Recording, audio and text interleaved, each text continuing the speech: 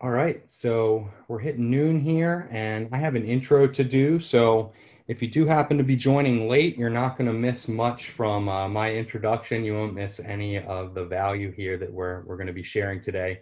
So good afternoon, all. My name is Adam Van Babel. Thank you for joining us. Uh, we're really excited today. The event, Fueling an Innovation Ecosystem for Startups to Thrive. And thank you to the panelists for sharing your time and insight with us all here today. We're joined by some of the region's brightest minds to discuss innovation ecosystem and helping startups succeed in the biohealth capital region. This event series, for those of you who might not have uh, participated in past events we've held at BioBuzz, was created to be a resource for the region, and we call it Talent Buzz. If you're unfamiliar with BioBuzz, we share stories about the people and companies making an impact in the region. And you're going to hear today all about uh, the regional innovation ecosystem and some of those great stories that our panelists are going to share with you. So today's event is also sponsored by Workforce Genetics. It's our recruiting and talent attraction arm. So if you're struggling to recruit great talent to your company, you're not alone. We're here to help you. There is a better way. Please reach out to us. So before we begin, I wanted to mention some housekeeping notes. I know that everyone at this point is well familiar with Zoom, but we're big fans of engagement here, and all participants are encouraged to utilize chat throughout the event, communicate with each other, with our panelists. We'll also be answering Q&A live with the questions and some of them being held for discussion at the end of the event. With that being said, I'm pleased to introduce Rich Bendis. Rich is the founder, president, uh, CEO of BioHealth Innovation. He's a successful entrepreneur, corporate executive, angel investor, investment banker, innovation, technology based economic development leader, speaker, consultant. The list goes on. He serves as the founding president and CEO of Innovation America, which is a national public private partnership focused on accelerating growth in the innovation economy in America. Knowing that, Rich is our go to expert who'll be moderating today's event. With that, Rich, take it away. Adam, thank you very much. And I don't know about the brightest minds. I think they follow everybody uh, in the introductions that I'm going to be making here. Um, but I appreciate uh, BioBuzz and Workforce Genetics in sponsoring an event like this because during these times, I think it's good to give exposure to uh, people, entrepreneurs, scientists, and businesses within our region, to the resources that are available to help support them. And we do have a world class panel today uh, to provide information as to what we need to do to fuel the biohealth capital region to keep it growing, as well as, as to continue to support the companies within our ecosystem. So, I will talk a little bit later about some of the programs of biohealth innovation. But right now, uh, I want to mention also that Adam uh, is going to be doing a poll with a couple questions that will be running continuously throughout the next hour of this webinar. And the uh, attendees can answer these two questions at their leisure, and then we will give the results of these two questions at the end of the webinar uh, for all of those who have responded to those questions. So I want to want to kick it off by doing a uh, brief introduction of our panelists and then I will let each of them introduce themselves and their companies and some of the basic programs and services that they offer in their words rather than in my words. So I'm going to start with Sally Allain, who is the head of J Labs in Washington, D.C., a new uh, entry into our marketplace this year. Uh, and a great addition to the biohealth capital region. Sally, welcome to the panel and to the biohealth capital region. Thanks, Rich, and, and thanks for having me on today. So, a quick introduction I am the head of J Labs at Washington, D.C. We are part of the Johnson & Johnson Innovation family. Uh, we have landed here and will be opening uh, early in 2021 at the new Children's National Innovation Campus in Northwest DC. Uh, so we are a no strings attached incubator uh, we move into ecosystems where we see some of the greatest science and technology, um, biotech and biohealthcare startups and entrepreneurs. And we certainly recognize that in, in this DMV region. And J Labs at Washington, D.C. will be our 13th JLab site. Great, thank you. Great addition to the region. Um, our next panelist is Chris Barrow, Executive Director, of Life Sciences at JP Morgan, and a frequent visitor to our region and thinks it's one of the most robust regions in the United States. Right, Chris? Absolutely, Rich. Thanks for having me, guys. Um, I'm Chris Barrow. I lead JP Morgan's Life Science Middle Atlantic Corporate Banking practice. What does that mean exactly? We're, we're targeting companies that are being translated out of universities all the way to uh, public companies that have market caps of $2 billion. Um, our spectrum in terms of life sciences is a pretty wide. It's, it's CROs, CDMOs, spec pharma, generic, med device, diagnostic, and therapeutics. Um, the reason why you know JP Morgan decided to put a, you know a group of people in the Middle Atlantic is just because of all the great institutions and the great research coming out of the Middle Atlantic, and uh, we're here to support it in any way we can. Thank you, Chris. We'll talk a lot more about JP Morgan later. Our next panelist is Kolaleh Eskandanian, uh, who's the Vice President and Chief Innovation Officer at Children's National Hospital and a great partner for all of us. So, Kolaleh, welcome. Thank you, Rich. Uh, um, as Rich mentioned, I'm uh, with Children's National Hospital in Washington, D.C. And uh, Children's National has a very strong uh, research and innovation arm uh, focusing on five areas of cancer and immunology, neuroscience research, uh, genetic medicine, translational science and investigational therapeutics and uh, device innovation, all focused on uh, the pediatric unmet uh, needs in the market. And uh, we are very proud to be partnering both with uh, uh, Johnson & Johnson Innovation, J-Labs, as well as BioHealth Innovation, um, to make sure that promising uh, research that initiate from our research labs uh, can make it to the market and, uh, and or provide direct benefits to our own clinics at Children's National. Thank you, Kolaleh. We look forward to learning more. And uh, last but not least, we have Arti Santhanam, uh, who's the Executive Director at the Maryland Innovation Initiative at TEDCO. Arti is uh, ever present at events throughout the region. Arti, uh, welcome to the panel. Thank you. Um, thank you, Rich. Um, so I work at TEDCO. TEDCO is uh, instrumentality of the state of Maryland. We've been in existence for about 21, 22 years now. And what we do is we um, find, invest in, and grow um, tech-based startup companies in Maryland. Uh, the Maryland Innovation Initiative that I run is one of many programs under the TEDCO umbrella. And uh, MI specifically looks at technologies in the five major universities in Maryland and helps commercialize and accelerate the technologies from bench to the market. Thank you. And TEDCO has been a friend to all for many years. So uh, don't forget, there's a poll that you can participate in that will be running throughout this webinar with a few questions, and we'll give you the results at the end, which Adam will give you. So let's get rolling here. And, you know, we're all right in the middle of the COVID 19 pandemic. And I, I would imagine a lot of our listeners uh, on this webinar are interested to know how has this pandemic impacted what you do on a daily basis uh, as well as a part of servicing the biohealth capital region and the companies in this region, as well as the companies you work with nationally, if you do that on a national basis. And uh, we'll start again with Sally and we'll work our way around uh, on that question, Sally. Yeah, so it's, I think, a, been a shift for all of us, um, whether our, our strategic business plans um, have been slightly altered uh, or um, optimize in some regards when we look at our portfolio. Um, so for us here in, in DC, um, I like to start with saying we are on track still to open at the Innovation Campus. We haven't seen a big delay, which has been uh, truly fortunate, and, and, we thank those frontline construction workers that are, are building our, our new site.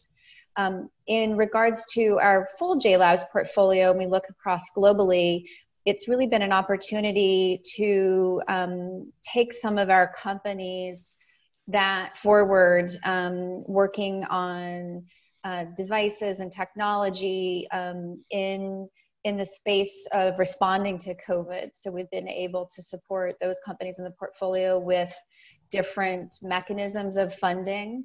Um, we have a, as you know, Rich, we have a uh, also a multi-year partnership with BARDA that was signed uh, last year, and, and we're looking at ways in which we can optimize that partnership uh, with some of our portfolio companies uh, with additional access uh, to support funding to move technologies forward in, in response to COVID. So, so I'd say for locally, our business plan is, is still on track. Um, we've been working across our portfolio to enhance um, access uh, of sources of funding for our startups and, and those working in the COVID space, I think have been able to um, build on an opportunity on their science and technology. And I guess it was serendipitous to establish the relationship with the BARDA Innovation Center well before the COVID 19 ever hit. And who knew how strategic that was going to be, Sally? Yeah, you know, I think it's fair to say we always, those of us in the science space knew there was a respiratory virus that was going to come and impact us greatly. Um, and yes, I, we would say we're opportunistic in, in signing this well needed partnership with with BARDA under the time of Rick Bright's leadership, which we know we are continuingly well, continuing forward well with, with Gary Disbrow at, at the helm. Um, but yeah, I think it's really important, and it's important to recognize from that and other partnerships that have been put in place since COVID um, the importance of public and private partnerships to drive science and, and innovation. We may come back and revisit that, but uh, thank you. Chris, uh, let's talk a little bit about the investment banking world, the climate, the IPO markets, venture capital, and investments from a JP Morgan perspective. So you know, I'm we're fortunate to work in life sciences. The the IPO market took a little bit of a dip right after everyone shut down, but it's been on fire ever since. Um, the first half of the year, we we've done over 11 billion dollars in IPO the IPO market. That's compared to roughly 17 billion for the whole year of last year. Uh, the follow-on market has been equally strong. Um, the VC market, uh, they have capital. They need the capital to they need to deploy that capital. So uh, companies that we're in conversations are still having those conversations and getting funded. Um, and you know it, it, it's it's been a robust environment. Uh, the only thing that's shifted is we're no longer working from our office; we're working from home. Um, and the one thing that we miss is that you know in-person contact, but that hasn't stopped business. Um, um, we're we're constantly discussing with startups, constantly discussing with uh, companies that are, are seeking Series A, Series B funding. Um, and it's it's it's uh, it's been it's been a good spot to be in.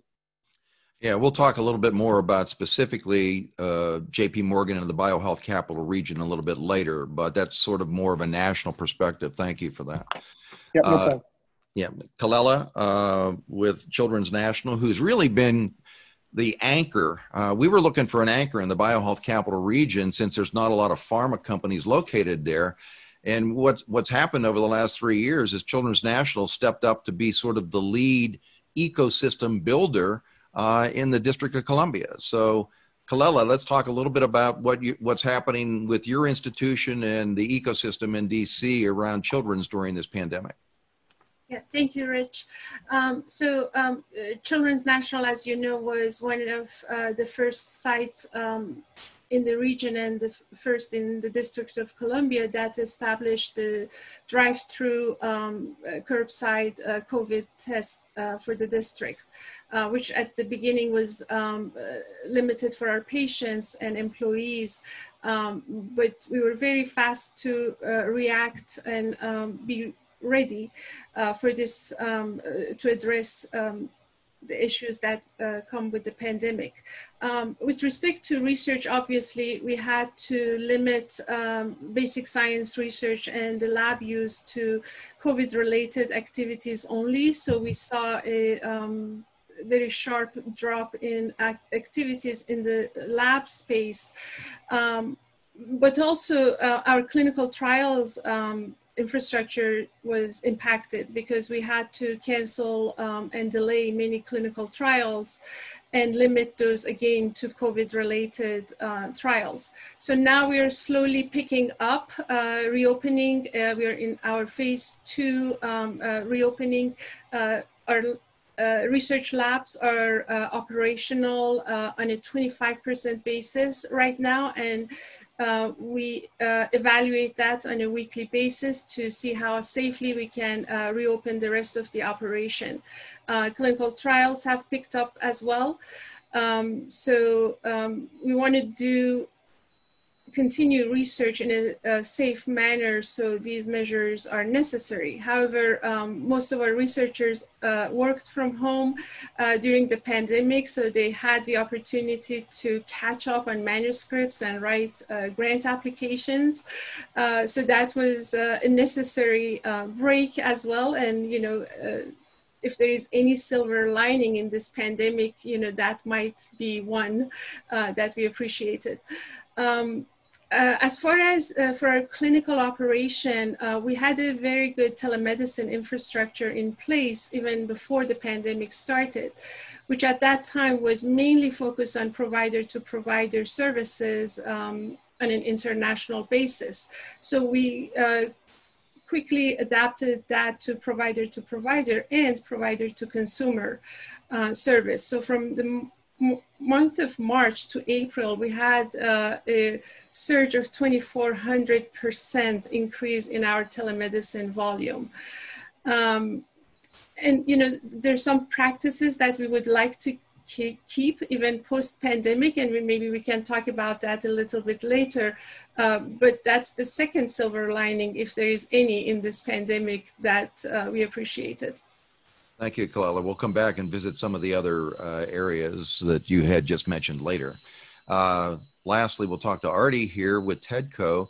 Talk a little bit about what's going on with the TEDCO ecosystem and environment and programs during the pandemic, Arti. So this this situation has been both a challenge and an opportunity for TEDCO and uh, our our portfolio of companies and um, um, the scientists in the participating universities. Um, a lot of that has been relied on what our needs are from the State Department, State Department of Commerce, as well as the Emergency Department, um, response departments. Uh, a lot of our projects that were able to use it as an opportunity were looking at um, quickly pivoting from what they were doing, which was medical device manufacturing, to manufacture respiratory um, uh, valves or masks or shields and PPE devices, as well as some of our diagnostics that we're able to quickly pivot to look for diagnostic um, for COVID related diseases, right? So uh, that has been an opportunity for them. The challenge has been for the uh, scientists in the universities to keep their research going. And uh, the labs have been closed. Uh, it's, uh, it's going to be a hard um, um, path coming back and ramping up and getting those projects done and moving those technologies forward just because we have COVID doesn't mean that we don't need oncology and neuro, uh, neurological, uh, you know, therapeutics and things like that. So we have to be moving those along as well. So that has been a challenge. And we are trying to help them as much as we can. We are giving them extra funding and, you know, extensions and all of the things that NIH does for the researchers, as well as what we can do in terms of bolstering their workforce as well. Thank you, Arti. Um, you know, the title of this is Fueling an Innovation Ecosystem for Startups to Thrive, really, in the biohealth capital region. So, the question I want to ask to the panelists next is uh, what are the programs for startups or early stage companies that uh, your organizations have? And uh, more importantly, how do they get engaged with trying to interact with your organization? And uh, let's start again. Uh, I'm gonna we'll go to Sally second this time. We'll start with Chris first, and then we'll come back and rotate a little bit here. Thanks, Rich. Um, so it, it's pretty simple, right? Uh, the questions most uh, startup companies ask us is, does JP Morgan invest in startup companies? And unfortunately, the answer is no. Um, but what we do have is we have a Rolodex of, of potential funders. So uh, a startup company comes in, we int- gets introduced and says we need to raise five million dollars. Well, depending on the type of area, if it's med device, is it therapeutic, and what type of therapeutic they're chasing after, we have a bunch of investors that we'll introduce them to. So, um, you know, it's it, it's it's it's it's it's more connecting the dots versus pure JP Morgan involvement, and we're just trying to help the ecosystem grow. So that's why we talk to Arti all the time, trying to figure out which companies are coming out and moving forward. That's why we talk to you, Rich, to keep moving, you know, new companies through the system. Um, because we, we want we want the next uh, Novavax, you know, or emergent bio, bio uh, um, bio, uh, emergent to come out, or, or or Paragon Bioservices. You know, those are the companies that have evolved out of out of the region and have grown to be terrific national, global um, companies, and that's what we're trying to help. Great, thank you. Well, we'll talk a little bit more about some of the other activities you partner in, and I think one thing that can't be missed is that even if you can't help them directly, you are very good at providing introductions to people that may be able to support startups. So it's not like you're invisible, Chris, at J.P. Morgan because you're at a higher tier. You are you want to engage as early as possible so you can develop those relationships earlier. Spot on. I couldn't say that. Said that. Thank you. Thank you. Um, Sally, let's talk about uh, J Labs and uh, the types of programs and how do people uh, try to engage with you directly? Yeah, so as I mentioned, we are a no strings attached incubator. So we are sourcing the best science and technology uh, that is on strategy for Johnson Johnson or is so transformational. Uh, we think it's incredibly important to be connected. So it's as simple as an online application. Uh, so you can go to our, our website, uh, start a uh, application, which is really consists of um, non-confidential information, your pitch deck, your company uh, detail, and then it goes internally for us to review. Um, and this is where I really partner across Johnson & Johnson's experts within uh, the specific space or therapeutic area or sector um, you know, we are qu- quite a diverse um, healthcare company. We are in not only pharmaceuticals, but also medical device and consumer uh, products um, and uh, technologies. So it's, it's a wide net. Uh, we work internally uh, to review those applications and have a selection committee. Um, in doing that, I'm also partnering um, with uh, sector experts and sector leads that are driving um, sourcing of internal uh, technology and science needs for all of our sectors and therapeutic areas. And I partner with um, our business partners in Boston, the Boston Innovation Centers. So as we look at companies and, and opportunities, not only are we interested for J Labs to bring you into the incubator, um, but also for potential partnering with Johnson and Johnson. So we we look at all aspects of a company and an opportunity. When you become part of our uh, incubator, you are given a mentor within J&J. So how can we provide you the expertise uh, that you need to move your science and technology forward faster? Um, and in doing so, we also want to make sure that you really put your capital towards your research and development. So how can we get the resource resources that you need? So we have a very large resource hub we also have a very large investor hub. So for all of our J Labs companies, uh, we have a investor hub that's powered by JJDC, which is our strategic um, investment arm within Johnson Johnson. But we also have 125 other companies uh, for that are doing investments. Uh, so that's also another aspect.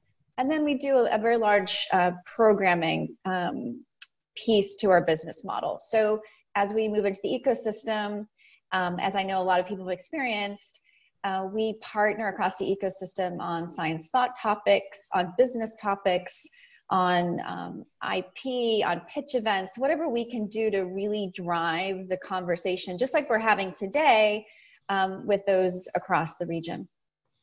Thanks, Sally. I have some other follow up questions. We'll get to those uh, in the ne- next segment. Uh, Kolaleh, um, you know you you've got a specialty with children's and pediatric uh, science technology uh, and care i guess the question becomes uh, how do companies that are not inside of children's or research inside of children's affiliate or partner with children's because I know one of our client companies is from Kansas City and is partnering with children's in Washington D.C. So I, I, I would like the listeners to know that uh, you're, you're more of an open innovation environment rather than closed only to the children's environment. So could you expand on that a little bit, please? Uh, sure, thank you. Uh, um, so we do that both uh, in an organic fashion and also in a structured fashion. So I, I will start with the um, start structured. So um, we are one of the five consortia uh, in the country uh, that has been designated as Center of Excellence uh, for Pediatric Device Innovation by the FDA. And we have a grant uh, from the Office of Orphan Products, uh, which helped us establish the National Capital Consortium for Pediatric Device Innovation. Uh, so this consortium, as you mentioned, is very um, open to uh, help startup companies um, no matter where they are. Uh, so we source and scout uh, the best pediatric device ideas uh, around the world.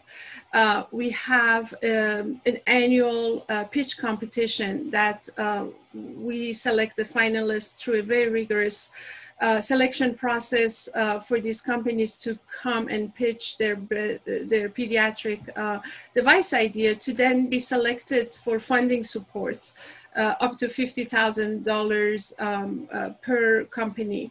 Um, as well as um, uh, putting them through a pediatric accelerator program focused on device innovation.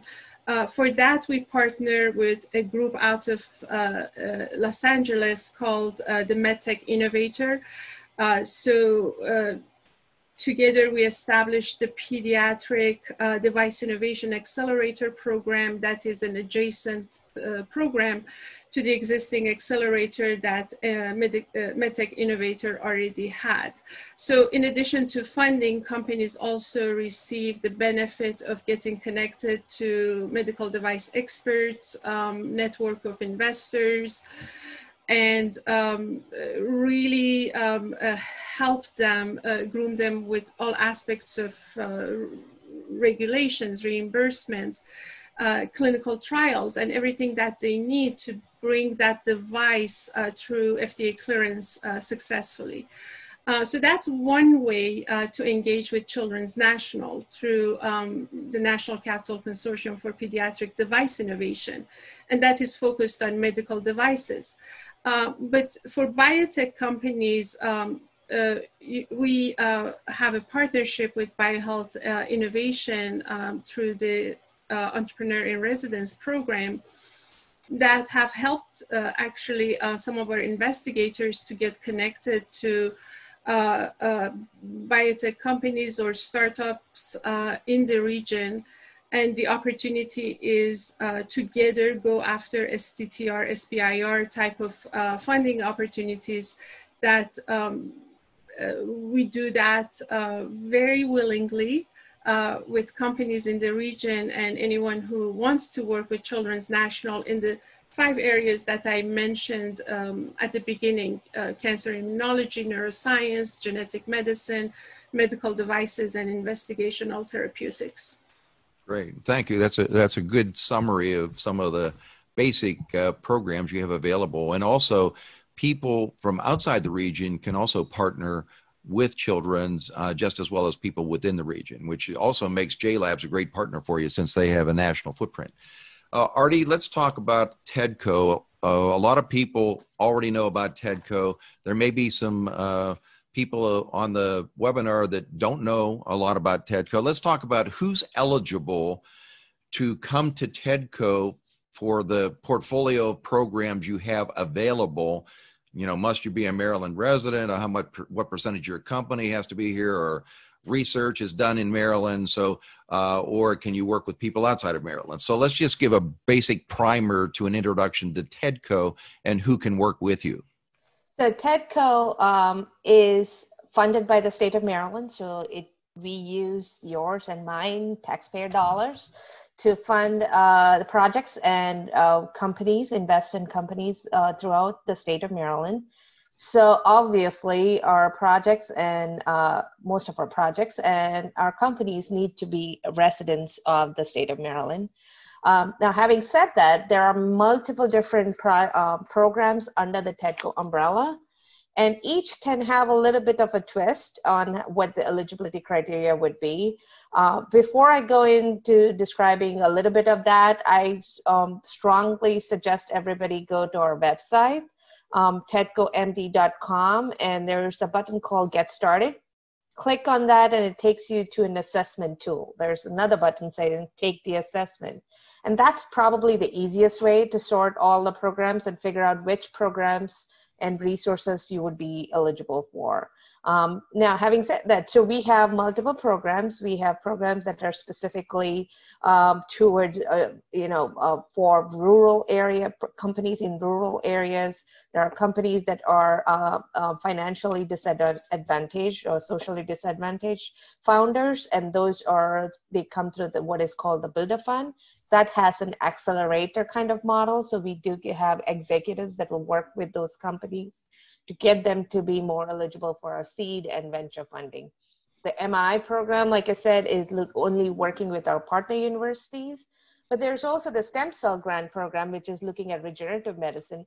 And that is one program where we do invest in companies outside of Maryland to do clinical research or research in Maryland. So the companies could be in California or in Boston, but they may be doing a clinical trial in one of the Maryland hospitals, including the NIH Clinical Center, or they could be uh, doing uh, some amount of research work in one of the universities in Maryland or collaborating with another company in Maryland. So uh, the dollars end up staying in Maryland, but the companies applying could be outside of Maryland. So, uh, so uh, as I said, there's a whole variety of eligibility for um, different programs within the TEDCO umbrella.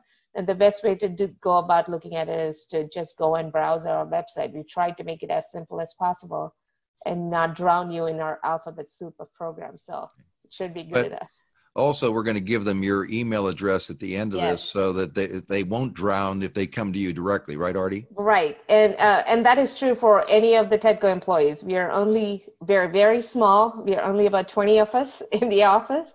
And you can reach any one of us. Our, our information is very public. You can reach any of us, and we will direct you to the right fund manager to work with. Great. Thanks, Arti. Uh, I'm monitoring the questions as they're coming in, and one of them uh, was related, Sally, to JLabs, and it's uh, how does JLabs engage with other resources, uni- for example, universities in the ecosystem to support innovation and source potential clients that would be coming out of universities and not already an existing company that may exist that wants to get involved with TED or with uh, J Labs? Yeah, and we, we certainly look at companies at, at all stages and are interested uh, with very early discovery, uh, companies working very early discovery all the way through uh, companies in, in the clinic. Um, so yes, we engage across the region. Um, I'm in constant communication um, with tech transfer offices, um, innovation groups at different universities. You know, I think it looks um, different depending on the research institute or in university that you're working with. Um, but that's that's part of, of, of, what we do is, is, is we are landscaping sourcing um, even working with accelerators uh, where it makes sense for companies to come out of accelerators and, and move into our incubator um, with some, you know, giving the, the company some time to um, have some proof of concept data um, have uh, some funding under their belt, whether that's uh, SBIR funding, friends and family, something small to to they're at a good good stage to move in into our incubator. Um, yeah, we have certainly engaged across the region and um, and and meet with uh, universities and, and institutes. So the best way to get that is to come to you directly and say, "Hey, we've got something here at the University yeah. of Maryland. We'd like to sh- introduce to you," and your door's always open, right? Absolutely, yes. Um, and and as mentioned, um, we look at at everything collectively. So it's if it's not something that is the right fit for JLabs, our incubator, uh, we want to look at it for Johnson & Johnson innovation and potential partnering with J&J. Super. Uh, I want to go into the, the, most popular topic of every webinar that ever is attended by early stage companies, and that's looking for money. And so I want to talk to the experts here. If I'm an early stage life science biohealth company in the in the biohealth capital region, what are your recommendations right now uh, for those entrepreneurs and how they should position, package, and approach investors uh, for money today? And has anything changed in the way that they need to approach people based on the environment we're in today? But how do people who need money, uh, how do they need to p- present themselves? How do they get access to the capital? And uh, is there anything they need to modify their behavior based on the pandemic today? And I'm going to start with Chris. And that's Chris Barrow with JP Morgan. Thank you. Um, so, um, you know, this is what we deal with every day. Um, I was on a call yesterday with uh, three separate companies, all looking for capital. So, and the first thing is, um, you obviously have to have an idea, you have to have a technology, you have to have it thought out properly. The thing that we're looking for is a short 15 page deck that explains the business model, explains the timeline in terms of what kind of capital. Um, and this is just really a teaser for investors. And so this is this is to get people on board and say, hey, you got an interesting product, you have an interesting market segment that you're targeting. It looks like you have something that, uh, that differentiates yourself. Um, and then you have to be realistic in terms of how much it will cost. You have to go through the process of thinking about your budgets. Uh, um, you want to make sure that you've itemized and thought through all this process. I had someone come in yesterday at the startup company and said we want to raise $75 million and, and we need that money to get to commercial cash flow positive. And well, we said, look, that's nice, but let's take a step back and let's think of the steps that you need to get there first and how much does that cost. Um, and so, you know, JP Morgan's a good resource for that. You know, it, it's always better to make a mistake in front of us than in front of a, a potential investor. Um, and and and the other thing in front of investors, be honest. If you don't have the answer, we'll go back and get it. Don't don't try and make it up. Uh, uh, and and and and the other the other thing I would say is um, everyone's worried about dilution, and our thing is it's better to own a small piece of a big pie versus a big piece of a, a, a, a small pie. So dilution's a concern, but that shouldn't be the factor driving your your your investing capital requirements. Great, great words of wisdom, and uh, we got three more people to give some advice to people looking for money. And Kolaleh, why don't we go to Kolaleh next? Uh, sure. Um, uh, you know, um, uh, value assessment is very important very early on um, for startup companies. So when uh, they have an idea, they have to also think about who's going to pay for it. And um, before even uh, presenting to an investor, preparing that deck, it's very uh, helpful to go through, um, you know, the process of understanding who the stakeholders interested in paying your product And I know that, um, you know, Arti is familiar with AdvaMed's uh, value assessment tool. And uh, that's a tool that uh, our companies use when we put them through our accelerator program to really start thinking, you know, um, we talk about being a value-based economy for hospitals, but we are not, right? So there are only a handful of hospitals in the country that are truly, um, or maybe, you know, are on their way to becoming uh, value-based, um, but we're still fee-for-service. Uh, so understanding of, you know, who are uh, the interested parties that pay for your product uh, understanding of that very early on is very important because it's going to help you um, clearly define your milestones and design your trials and uh, make less mistakes uh, along the way. Thank you, Kolaleh. Um, Arti, um, let's talk a little bit about what they need to do to get prepared for TEDCO. So again, uh, we have many different programs and they go from very early stage when it's just a concept at the university level all the way to venture investment. So we are, we sort of have a pipeline of funding opportunities and you can graduate from one to the other as you go through your fundraising.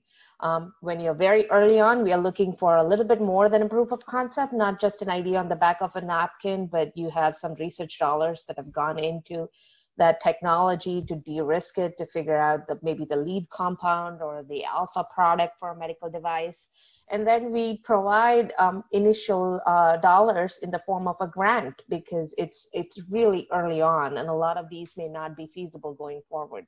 So we give out grants to de-risk the technology and then as the technology spins out into a startup or there's a startup um, um, that's coming to TEDCO from outside of the university system. There's startups um, off the street that are coming directly to TEDCO. We are work, looking at what exactly what um, Chris said. We are looking for a pitch deck. We're looking for um, a, a an understanding of the market, understanding of your customer base. If you are a device, highly recommend what Kolaleh said, the AdvaMed uh, value um, uh, value uh, framework is an awesome, awesome technology, uh, um, uh, you know, resource for all startups to go through, um, especially if you're a device or a diagnostic. For therapeutics, we are looking at what is your inflection point and how are you going to fund that? Where's your capital going to come from?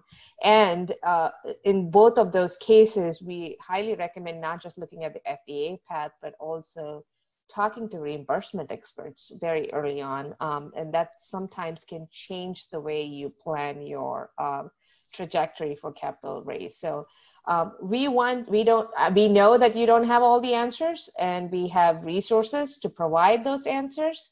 Uh, we have experts and uh, from the ecosystem that we can connect you to but we want you to have done some of that homework. We don't want you to come to us with uh, quite a blank slate. Um, and then uh, if we find that you're lacking or there are gaps in your knowledge or resources, uh, TEDCO is there to sort of connect you to those resources in the ecosystem and elsewhere that you can uh, fill those gaps, including working with BHI and with Rich's group uh, and with uh, JLabs and um, uh, Chris to find all of those networks that we can connect them to. Thank you, Arti. Uh, last but not least, Sally. I, you mentioned an application people have to fill out. That's for the JLabs, but J and J is the world's largest pharma company with many different divisions and uh, funding sources. So, basic primer for people who want to get engaged with J and J. What do they need to have? Yeah, I, I think we all look at things in with the same lens. I, you know, I think Arti and and Kolaleh described it well in in in your pitch deck in your details. Um, what does your next 12 to 24 month project plan look like from where you are today um, against uh, the competitive marketplace? Where are you against your competitors? Um, and if you do have uh, funding what does that runway look like against your project plan? I think we're very interested to understand your time and place now and, and, and your projected milestones as you move forward. Um, and then where are your thoughts on partnering? Why do you want to partner? Um, and uh, or looking at which we we also help a lot in is alternative sources of funding, whether that's grant funding, um, supporting our companies uh, in front of our investor hub. But as far as the big J and J, um, yes, it's you know this is why we put our innovation centers on the map um, because it is we like to call it the the red front door to Johnson and Johnson. So as we assess the external marketplace uh, for the best science and technology, um, as I'm out here within the DMV region, as I'm assessing opportunities and companies in science and technology, I'm also partnering with um, my business colleagues at in Boston. And if we want to do a partnership deal, and we do those, we have more than 160, I think, partnership deals with our JLabs companies. Um, I work with my colleagues in Boston, and, and we put those partnership deals in place. Thank you. And we, we have direct experience with J and J with one of our companies that we introduced to J and J called BeneVir Yeah. uh, with Matt Mulvey in 2013. So one of the things when people are looking for money or partners, the two words are patience and persistence because they met him in 2013. There was serious due diligence that was done on the company for two years, from 2016 to 2018, and then J, Janssen division of J and J actually acquired BeneVir, but it was a six-year process uh, from the time they actually met them to the time that actually something was consummated. So for those out there that uh, want to make payroll next Friday and want to get introduced to an investor, uh, generally it doesn't work that quickly, guys. So uh, be, yeah, and I think I think it's fair. You're correct. I think it's fair that the things can work a lot faster, and you know, I think it's time dependent on the science, the technology, um, where we are strategically internally within with our own portfolio and therapeutic areas. Um, I mean, that was a big acquisition. big deal. Yes, yeah, yeah. right. Um, and we certainly put research and development agreements and partnerships in place um, outside of acquisitions.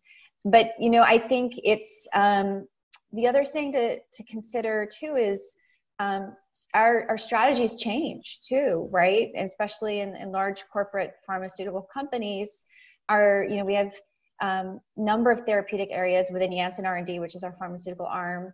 Um, our disease area strongholds within those TAs do shift, uh, dependent on a lot of different um, aspects. So one year it could be off strategy, and the next year it, it, it's back on our strategy. So we we oftentimes do go back to companies a year later and, and revisit those conversations.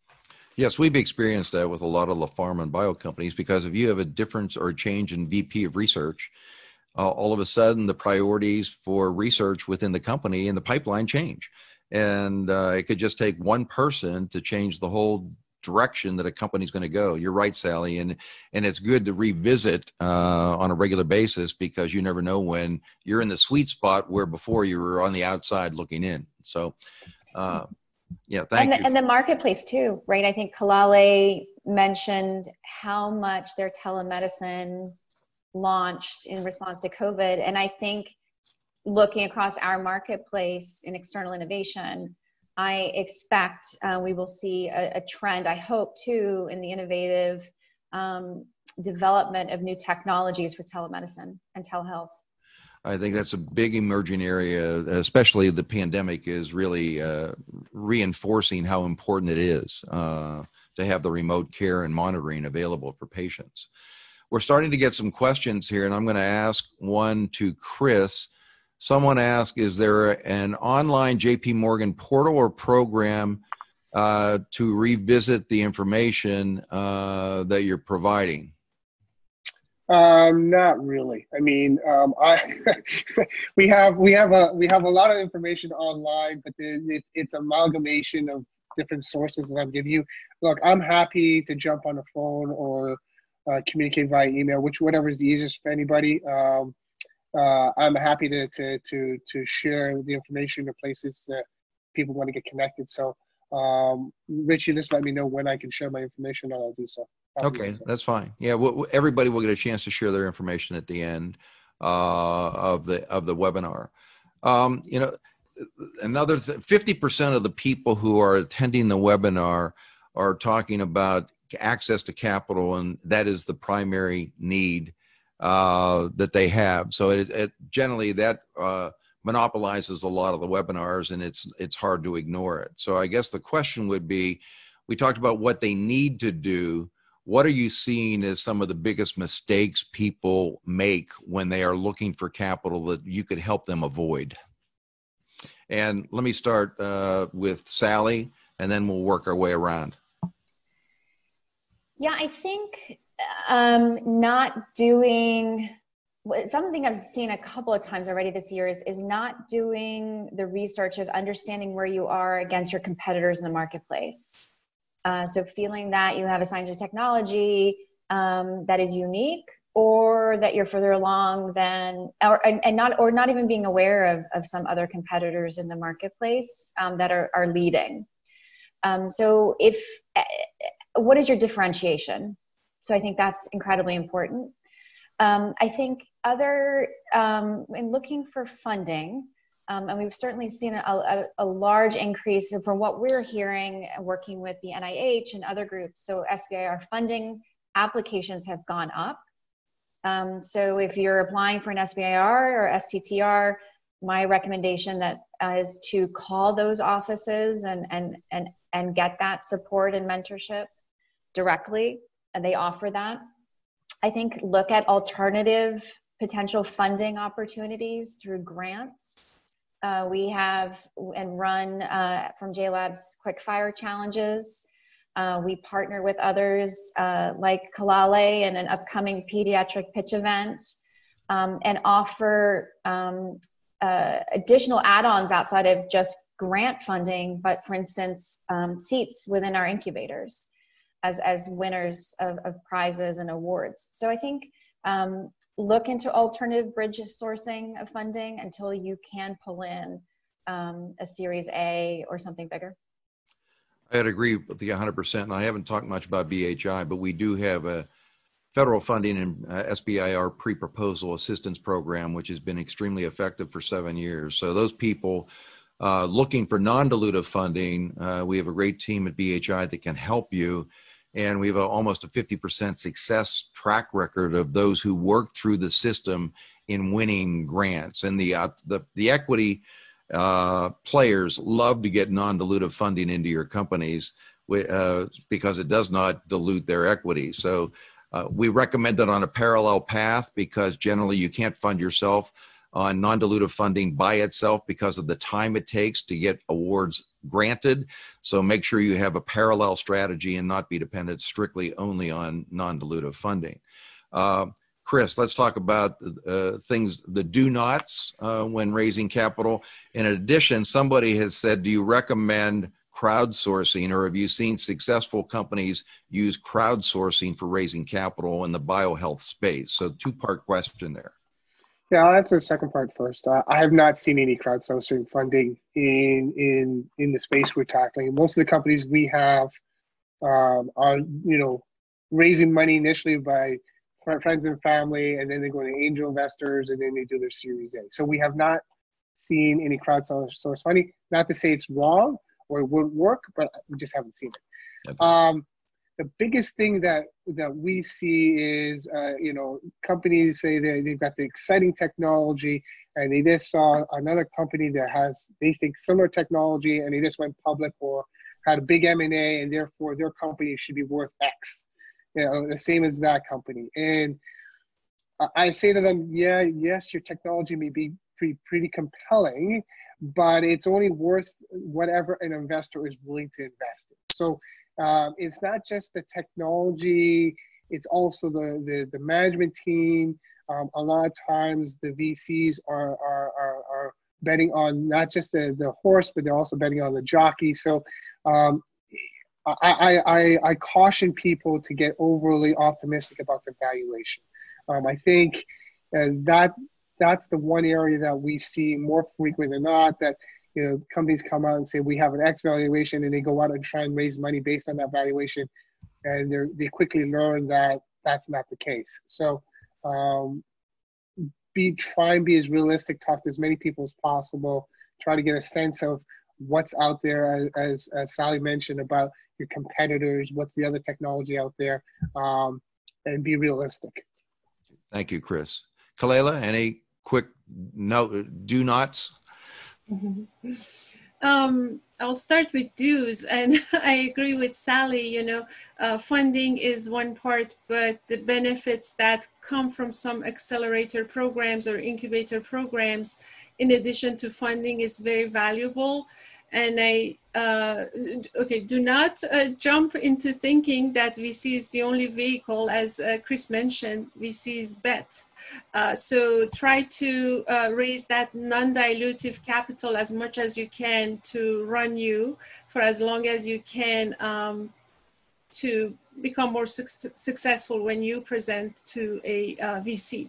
Uh, from our experience uh, uh, uh, through the National Capital Consortium for Pediatric Device Innovation, of the startup companies that we supported over the past seven years, um, uh, collectively, they raised follow-on funding of north of $200 million. And that's a very good metric that we show to the FDA to demonstrate the return on FDA dollars, return on federal dollars um, from um, in, uh, accelerator programs such as um, ours, yours, uh, uh, JLabs. Uh, I think that it's very important uh, to think not only funding, but also uh, the mentoring and coaching that comes with it. Great, thanks. Arti, anything that you can add? Um, so one of the biggest uh, pet peeves I have is if they don't talk about their value proposition in terms of dollars, right? So it's one thing to say, okay, this is my device and it's going to help this many um, patients, but are they really, is that your big patient population? Who's going to be using it? What is your value proposition? And uh, one of the things that we dig into a lot is uh, for our grantees, we work on creating and helping them create that value proposition. And for our companies, we look to see that if, do they have a proper uh, value proposition definition and uh, do they have the right customer that they should be going after. Again, a couple of things that have helped our startups are uh, doing the I-Corps uh, program, and that certainly helps you narrow that down and come up with not just the business plan, but also the business um, model for your company, and that certainly helps a lot. Um, and the other uh, uh, the other thing is exactly what Kolaleh said is to get involved in the local accelerator incubator or uh, in, in this case, I would say uh, come early to TEDCO and talk to TEDCO.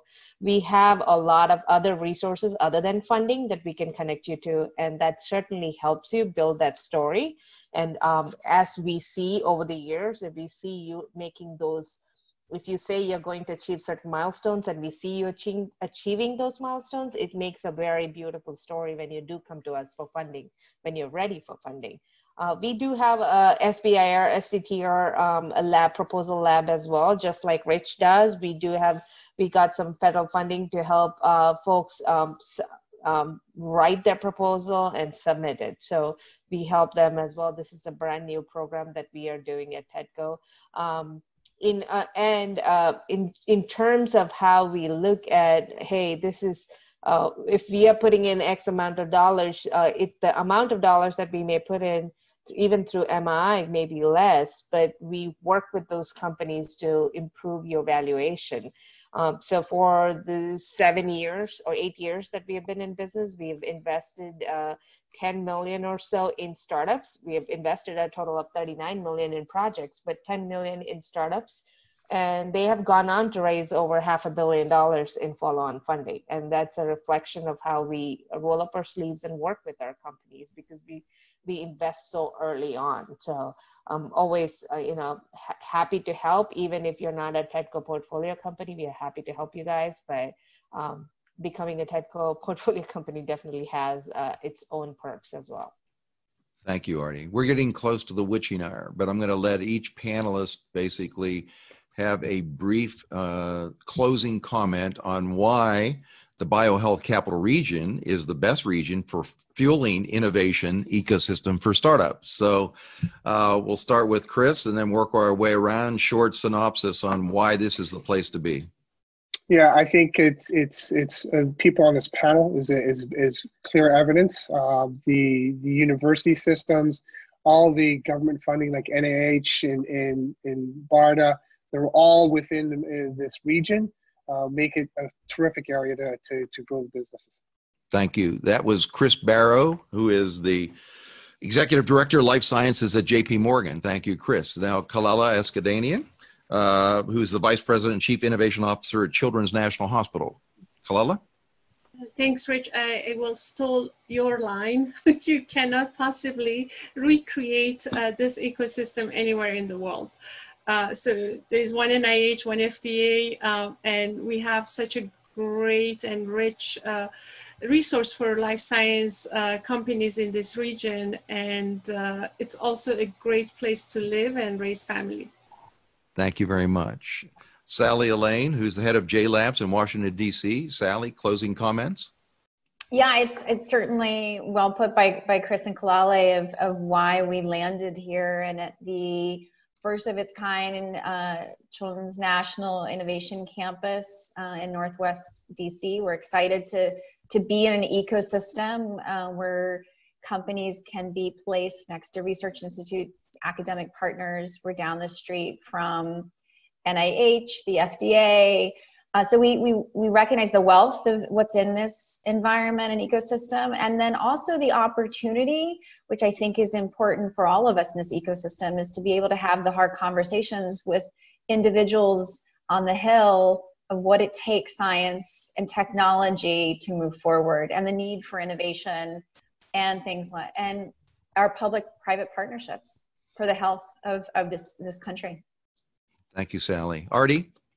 I, um, all of what everybody else said, but I just wanted to leave a couple of examples of how we have leveraged our ecosystem in the, in just the last few years, and um, both of them happen to be from Hopkins. But one one of our companies, Glyscend, was part of BHI's network. We invested in the company, we de-risked the company in this uh, in the in the schools, and then we spun out the company. They worked with BHI to get some uh, SBIR funding as well and then they went to JLabs and uh, won one of their quickfire challenges. And um, just last week, they um, last last month they raised twenty million dollars in Series A, which is a, a, a, huge big deal for them. It took a few years, but they got there. Another example is Asclepix, that was also a Hopkins therapeutic company, came through. I don't know if they were part of BHI at all, but uh, they did uh, come to a lot of the events that BHI would hold. Um, and uh, they met Chris, and Chris helped them uh, with the banking needs, and um, and uh, they met one of their lead investors for their Series A uh, round at the BHI BioHealth Capital Forum that um, Rich uh, hosts. Um, and uh, they were able to raise a uh, $35 million Series A just last week again. So it's, uh, I think the strength of the ecosystem is in the fact that we have all these wonderful partners that we can work with, and we work collaboratively to get those companies to where they need to be. Great, Arti. You've been a great segue to a future event. Uh, as you know, we normally have the BioHealth Capital Region Forum in April at AstraZeneca, and this year we've had uh, move it to October and make it virtual. So October 19th, save the date for everybody, will be a virtual Biohealth Capital Forum. Uh, and we have some fantastic speakers. And then on the 20th and 21st of October, we're going to have the third annual Biohealth Capital Investment Conference sponsored by Wilson Sonsini and JP Morgan. And a number of the panelists you see on the screen today are also going to be judges for our crab trap competition, which we'll be holding. And I think, Sally, I don't know if you remember, you agreed to do that, but uh, we're going to come back to you and ask you to do it again uh, for real on the 21st. and uh, but anyway, I, I want to thank all the panelists, Chris and Kolaleh and Sally and Arti. It's been a very informational and educational panel for the people uh, in the biohealth capital region as well as people outside thank BioBuzz for sponsoring this. And I think Adam's going to close this with giving us the summary of the polls that were conducted before. And we will promise to answer questions that we didn't answer uh, that you submitted after this. We'll direct them to the individual they directed to, and I'm sure each of the individuals will be glad to answer those questions that were asked of them that we didn't cover. And lastly, Adam, uh, could everybody give their email address for contact? And I'll start Chris, please. Sure. It's uh, christian.barrow, B-A-R-R-O-W, at jpmorgan.com. Kolaleh? It's kskanda at childrensnational.org. Great. Sally? So S Allain 2 at its.jnj.com. Arti? No, You're no, you're, mute, you're you're muted. It's a santhanam at tedco.md, but I just put my email in the in the chat box. Great, good Just idea. so for everybody gets it. And I'm R. Bendis at biohealthinnovation.org. Now we'll turn it back to Adam. Thank you much to everybody, and Adam can close. Thank you, Rich. Thank you, everyone. Um, I'd like to also add, if, if you did happen to miss somehow the contact information, that's how we put this together today. I, uh, I hunted down a lot of these people on LinkedIn. So LinkedIn's a powerful tool. And as you can see, we've got some great experts locally that are willing to share their time. So um, encourage you to be creative and resourceful in your outreach efforts. But you know, we're not enjoying live events like we used to. Um, at BioBuzz, we have held monthly events for the past decade where if you were lucky, you got to enjoy a conversation like you did today in person. Um, you know, and, and we look forward to holding those again in the future. But until then, wow, just thank you again to all the panelists for your time today. Some great tips that have been shared. We will be doing a recap of this. You'll be able to um, have further outreach after the event as well. So there's also going to be a survey before you exit. So please, we'd appreciate just taking a moment. It's uh, a couple questions so that we can continue to enhance the value of these events and you know make your experience worth your while. If you enjoyed this webinar as well, please visit biobuzz.io to read and watch recaps from our past events. Uh, previous events have been Venture versus the Virus, which also talked about funding opportunities and investment and attracting talent in the biohealth capital region for those that are hiring and employers that care about employer branding and how you can find and be a magnet for talent that's going to stick with you. So again, thank you all for the time today. Rich, all the panelists, thank you so much for participating. Thank you to all the attendees. And with that, be well and until next time. Hey, Adam, do you, so have much. the results of the poll? I thought you were going to give some. Ah, here, yes. Uh, I almost forgot about that. So okay. if you want to look at it, we will be sharing these in the recap. Uh, but if you want to take a quick look, here's the results from what best describes you. So if you're looking at that, you can see the majority on the call, entrepreneurs. So you're in good company. We have a good mix of other. So those are either people that are shy and, and not necessarily going to share who they are or what they might actually be doing. Um, we've got several entrepreneurs who have been part of previous ventures, as well as some investors. So, you know, we had a great mix as far as who was on the call.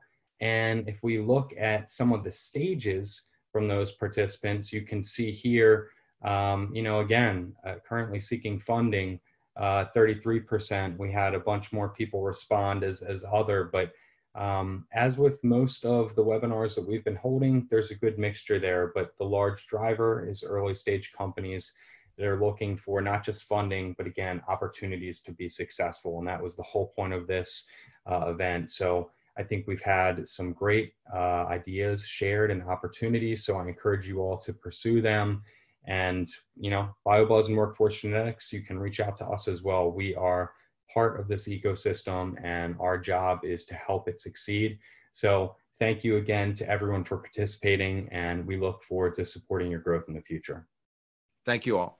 Thank you. Thank you. Thank you all. Bye.